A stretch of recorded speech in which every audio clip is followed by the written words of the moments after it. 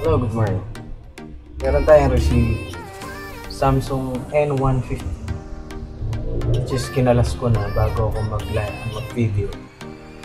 And nag-check ako from positive to negative. Ah, ganito ang issue. 3 amps na current shorted sa board. So, happy natin siya. And also,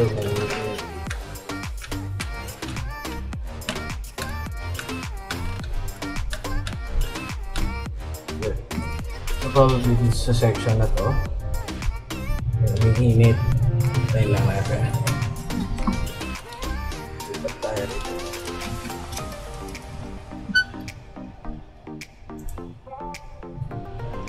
Okay. Yan. Lagay ko meron dyan. Kasi medyo warm yung section na yan. Ano, ano nung kailangan natin gawin? Find out. Dito sa section na to. Okay. Ay, kita nyo yung, ano, yung pinaka-last. This one. I think this one ito yung umiinit. Ito. So, it means shorted yung capacitor na yan. Lagay ko lang. 100% okay. Okay, look at that. Tignan nyo kung gaano siya kabilis mawala. Lahat ng 3 amps pumupunta dyan sa capacitor na yan, which is yan yung shorted na capacitor.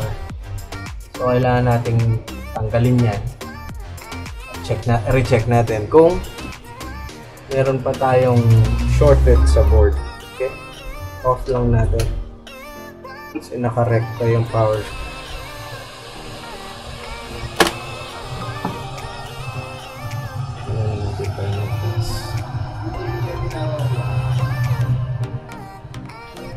Ano, Rex? Anong table ba yung Yung 110. Tapos check ka ng EBR kung merong 110 dyan.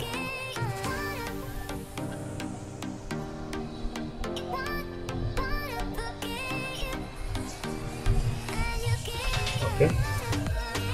Tanggal na po natin yung capacitor niya. Check natin kung shorted pa yung board o hindi. Oh, so hindi na yung board. On natin.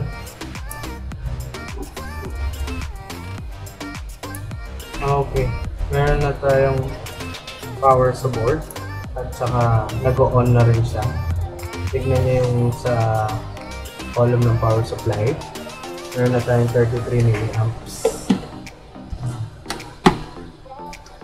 So, I think okay na tong board natin. No need to replace yung capacitor kasi meron pa naman dalawa. Sila lang naman siguro yung nagpo-protect.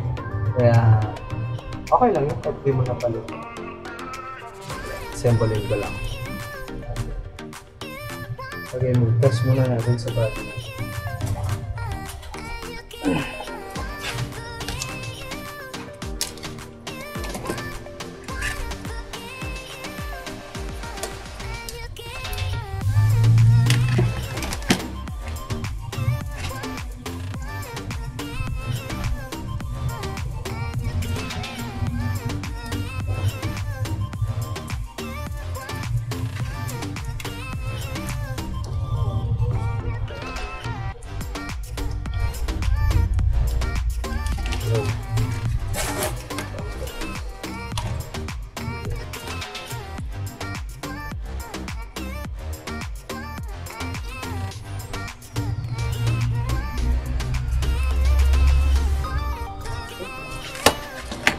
Ito naman po, ano?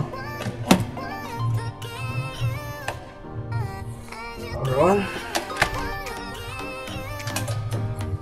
Okay. 19 volts. Power on. Kita niyo yung LED light. Okay. 33. Then, power na tayo. Okay. Kung gusto niyo yung video, like and subscribe. May natutunan kayo, please. Thank you.